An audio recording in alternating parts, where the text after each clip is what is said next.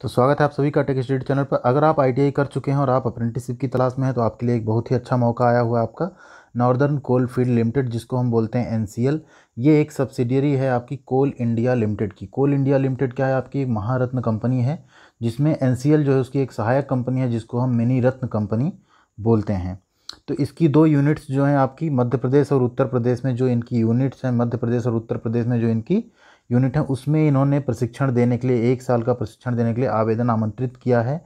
इसमें लेकिन ध्यान रखना है आपको, सबसे बड़ी बात क्या है, इसमें जो आईटीआई आप अगर यूपी या एमपी के संस्थानों से उत्तीर्ण किए हैं, तभी आप यहाँ पे निम्नलिखित ट्रेडों में आमंत्रित हैं एप्लीकेशन अप्लाई करने के लिए मतलब एप्लीकेशन फॉर्म के लिए। ठीक?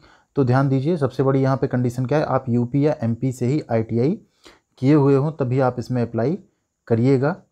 तो यहाँ पे अगर हम बात करें तो वेल्डर गैस एंड इलेक्ट्रिक जो ट्रेड है, इसकी आपकी टोटल पोस्ट अगर आप देख पाएँगे, सौ पोस्ट है। इसी तरह अगर हम बात करें इलेक्ट्रीशियन की इलेक्ट्रीशियन की पाँच सौ पोस्ट है, फिटर की आठ सौ पोस्ट है और मोटर मकैनिक की सौ पोस्ट है। टोटल अगर हम बात करें यहाँ पे तो पंद्रह सौ पोस्ट आपकी आई हुई है।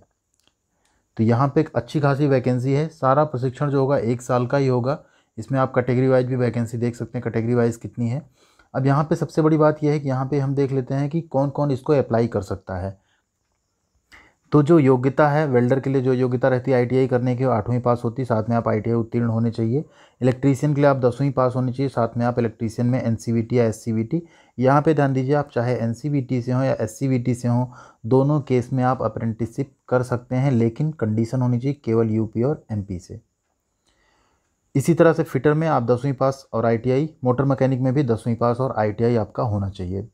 सभी ट्रेडों में एक और क्राइटेरिया है जो जनरल और ओबीसी कैटेगरी है, उनका मिनिमम फिफ्टी परसेंट अंकों के साथ पास होना चाहिए।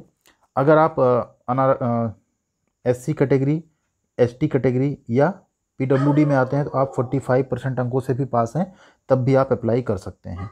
ध्यान दीजिए, एक इसमें डेडलाइन है जो निर्धारित रहता है, जो आपके ये एजुकेशनल क्वालिफिकेशन है। ये आपका तीस छः दो हज़ार इक्कीस, यानी तीस जून दो हज़ार इक्कीस तक आपके पास वो निर्धारित योग्यता और एज आपका पूरा होना चाहिए, तभी आप यहाँ पे अप्लाई करने के एलिजिबल रहेंगे। एज का अगर हम क्राइटेरिया बात करें यहाँ पे तो एज का जो क्राइटेरिया था वो आगे दिया हुआ है, आगे हम लोग देख लेंगे। तो यहाँ पे आप देख सकते हैं, ये है आपका एज का क्राइटेरिया एज का क्राइटेरिया क्या है? तीस छः दो हज़ार इक्कीस तक आपकी मिनिमम सिक्सटीन ईयर्स और मैक्सिमम आप ट्वेंटी फोर ईयर्स के होने चाहिए। बाकी कैटेगरी के रिगार्डिंग आपको पाँच वर्ष और O B C non creamy layer में आपको तीन साल की छूट दी जाएगी। जो दिव्यांग कैटेगरी है पी डब्ल्यू डी कैटेगरी उसमें दस तक की, दस साल तक की छूट दी जाती है। साथ ही अनुसूचित जाति, अनुसूचित जनजाति को हम अगर दिव्यांग कैटेगरी में है तो उनको आपको पंद्रह साल और तेरह साल की क्रमशः छूट दी जाएगी। पंजीकरण आपको हाँ यहाँ पे ध्यान दीजिए, एक सबसे बड़ी बात यह है, आपका जो W W W dot apprenticeship India dot O R G है, इस पर आपका पंजीकरण होना चाहिए। उसके बाद आप एन सी एल पर जाकर ऑटोमेटिकली आप ऑनलाइन आवेदन कर सकते हैं अप्रेंटिसिप के लिए। सबसे पहले आपको अप्रेंटिसिप इंडिया पे रजिस्ट्रेशन करना है। इसके लिए हम एक सेपरेट वीडियो बना देंगे, कैसे आप अप्रेंटिस इंडिया पे अपना रजिस्ट्रेशन कर सकते हैं ईजिली अपने मोबाइल फ़ोन से। इसके बाद अगर हम बात करें तो आवेदन सिर्फ़ ऑनलाइन स्वीकार किए जाएँगे। उसमें आपको लगेगा क्या क्या ध्यान दीजिए। जब भी आप आवेदन करने जा रहे हैं तो आपका एक फ़ोटो होना चाहिए। एक खुद का स्कैन कॉपी में सिग्नेचर होना चाहिए। मम्मी या पापा का सिग्नेचर होना चाहिए। आईटीआई की मार्कशीट और आईटीआई का सर्टिफिकेट। अगर सर्टिफिकेट नहीं है, मार्कशीट आपकी आ गई तो आप प्रोविज़नल बनवा के उसके बेसिस पे भी अप्लाई कर सकते हैं। जन्म तिथि के रूप में आपका आठवीं या दसवीं का अंकपत्र होना चाहिए। पैन कार्ड होना चाहिए, आधार कार्ड होना चाहिए, जाति प्रमाण पत्र होना चाहिए और बैंक खाता का विवरण होना चाहिए। इतनी चीज़ें आपकी पोर्टल पे अपलोड होंगी, जो कि आपको करनी पड़ेंगी। तो आवेदन दो चरण में होगा, कैसे होगा? सबसे पहला जो चरण है आपका क्या है? अप्रेंटिसिप इंडिया पर आपको रजिस्ट्रेशन करना है। जैसे आप रजिस्ट्रेशन करेंगे, वहाँ से आपको पंजीकरण नंबर नोट कर लेना है अपना। उसके बाद पोर्टल पे जाना है, जो कि आपका संबंधित ट्रेड इसके लिए है। उसमें आपको नॉर्दर्न कोल फ़ील्ड या इसका एक पंजीकरण यहाँ पे देखिए दिया हुआ है। ये सर्च करके वहाँ से आपको आवेदन करना है। सेकेंड स्टेप क्या है? जब वहाँ से आप कर लेते हैं आवेदन, उसके बाद स्टेप है आपका एनसीएल की वेबसाइट पर जाना है। कैरियर टैब में जाके आपको ऑनलाइन भर्ती के लिंक पे क्लिक करना है। ठीक? साथ ही आप फ्री जॉब अलर्ट या इन सब पे डायरेक्ट भी जाके अप्लाई कर सकते हैं ऑनलाइन और वहाँ पे आपको जाके एनसीएल आवेदन ऑनलाइन ये आपका 2021-22 के लिए लिंक पे क्लिक करके अप्लाई कर देना है। ठीक? जैसे ही अप्लाई आप कर देंगे, सारी चीज़ें आप अपलोड कर देंगे, आपके मेल पे कंफर्मेशन आ जाएगा और आपका एप्लीकेशन फॉर्म वहाँ पे पहुँच जाएगा। सिलेक्शन कैसे होगा इसकी अगर हम बात करें यहाँ पे तो सिलेक्शन का जो पैरामीटर वो मेरिट बेसिस पे सिलेक्शन किया जाएगा। यहाँ पे आप देख सकते हैं। ये रहा आपका सिलेक्शन का क्राइटेरिया ठीक?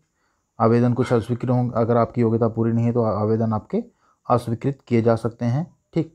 लास्ट डेट क्या है आपकी? लास्ट डेट है नौ जुलाई पाँच बजे तक। तो आपको लास्ट डेट का वेट नहीं करना है। आपको उससे पहले अप्लाई कर देना है और अप्लाई करने के बाद आपका इजीली होने के भी चांसेस इसमें रहेंगे।